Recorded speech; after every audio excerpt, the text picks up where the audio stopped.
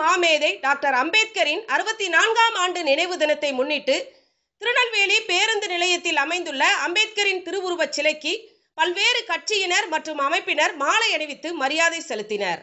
மத்திய மாநில அரசு எஸ்சி எஸ்டி ஊழியர் நலச்சங்கம் சார்பாக அதன் மாவட்ட தலைவர் சுந்தரம் தலைமையில் அம்பேத்கரின் சிலைக்கு மாலை அணிவித்து மரியாதை செலுத்தப்பட்டது. உடன் ரயில்வே பொதுச் செயலாளர் டி எஸ் மணி ஒருங்கிணைப்பாளர் ஹரிராம் துணை தலைவர் மாரி செல்வம் மற்றும் ரயில்வே நிலையம் எஸ்சி எஸ்டி அனுமதி பெற்ற ஆட்டோ ஓட்டுநர் சங்கம் தலைவர் முருகன் செயலாளர் பி பாண்டியன் பொருளாளர் சண்முகராஜ் உள்ளிட்ட பலர் கலந்து கொண்டனர்.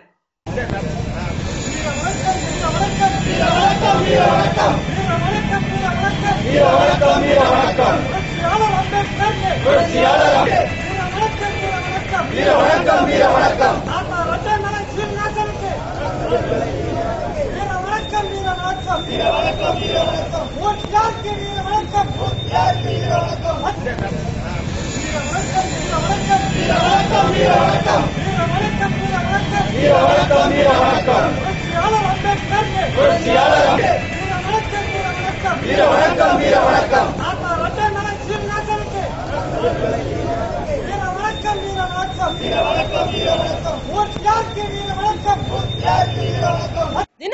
செய்திகளுக்காக நெல்லையிலிருந்து ரீட்டா